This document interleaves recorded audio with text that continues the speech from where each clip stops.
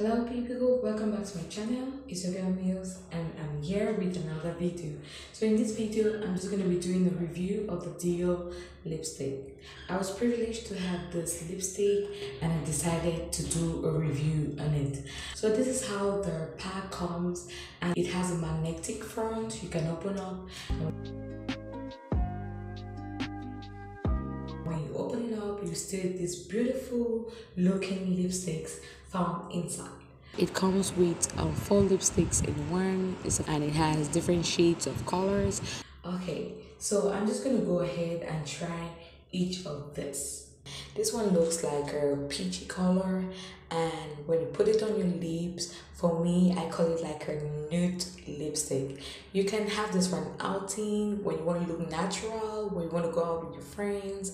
You can just put this on and you're good to go.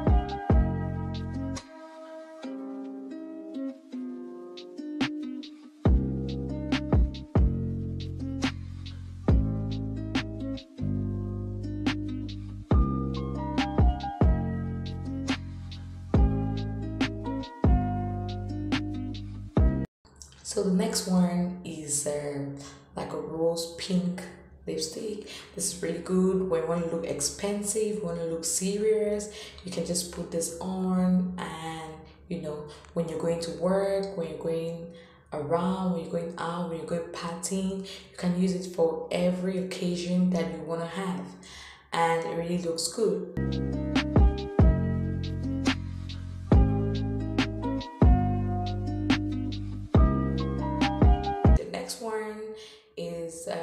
Again it is a pink um, shade but this one is a little bit thicker than the other just a little bit. Again you can use it for all occasions and it really looks good.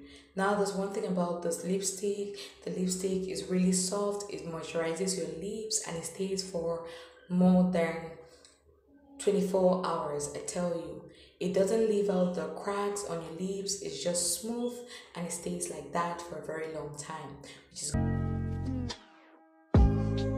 the next one is the rouge you know from the name Dior rouge.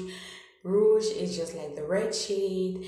And for me i always call it the chili red the chili red lipstick you know? The chili red lipstick is perform all the magics and do all the magic you can never think of. You can use it for all occasions but it really makes it to look very expensive and very you know unique. I really love the shade.